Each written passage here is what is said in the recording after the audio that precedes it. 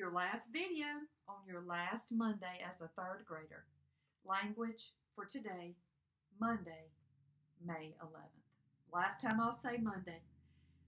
Today in language, you need page 181 out of your book. Page 180 is a review. Um, if you look at page 180, I mean, you don't have to do it, but it's just a review. They're all remembers. So remember A is using proofreader marks um, for which letters should be capitalized. Remember B is writing your titles of respect with capital letters and periods where they need to go. Remember C is uh, reviewing common and proper nouns. Common nouns, a person, place, or thing. Proper nouns name a particular person, place, or thing. My common noun is teacher.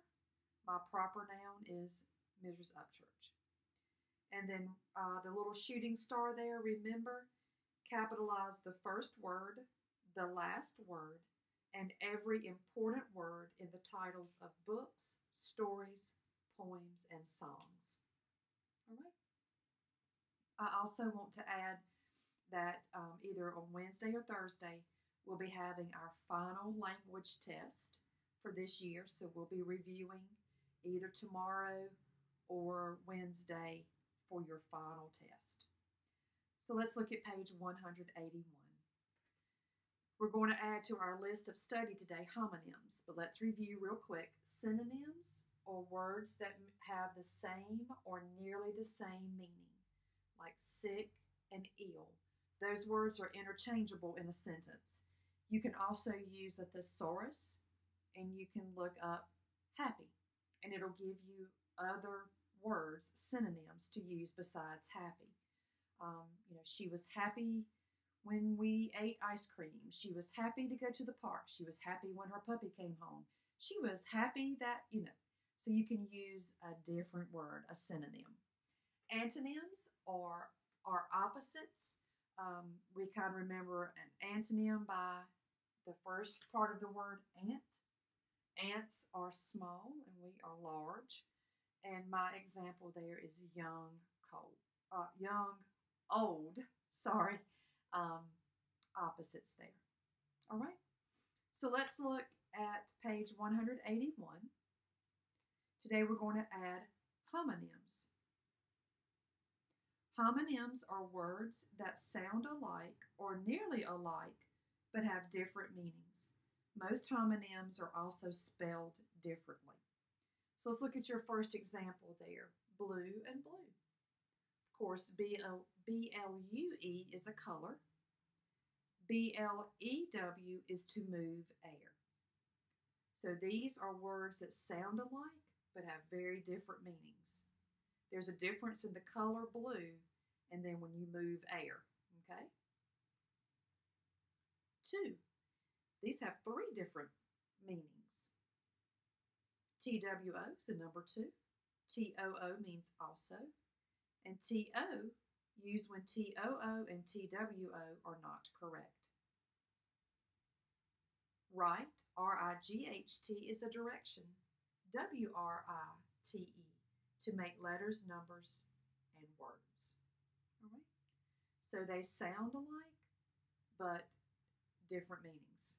And they're spelled differently. Let's look at Think A. Draw a line from each word in column A to its homonym in column B.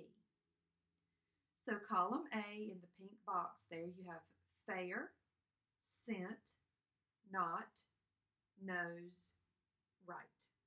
So we're going to match. We match fair to F-A-R-E in column B. Cent like a penny. We match that to sent, S E N T, like I sent you some flowers. Knot, K N O T, like you tie a knot in a string. We're going to match that to not, N O T, a negative.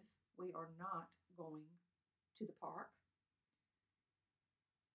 Nose, N O S E, means like the nose on your face, to K N O W S, knows, like knowledge of. Like she knows she's supposed to come home now, so knows, has knowledge of. Right, R I G H T, that was one of our examples, like my right hand, to W R I T E, which means to actually write. I write with my right hand. That would be a sentence where you would um, have to make sure you have the correct words and the correct spaces there. I'm going to let you do the purple box there on your own, matching homonyms. Think B. Complete each sentence by choosing the correct homonym in the parentheses. Number one, David didn't write Psalm 23. Which one would we choose there? W R I T E, correct. We'll do one more together. Number two, we've had several deer in our yard. D E A R or D E E R? Which one is the animal? D E E R, that's correct. I'll let you do three through six on your own. Then you have think C. Draw lines to connect the homonym with its meaning.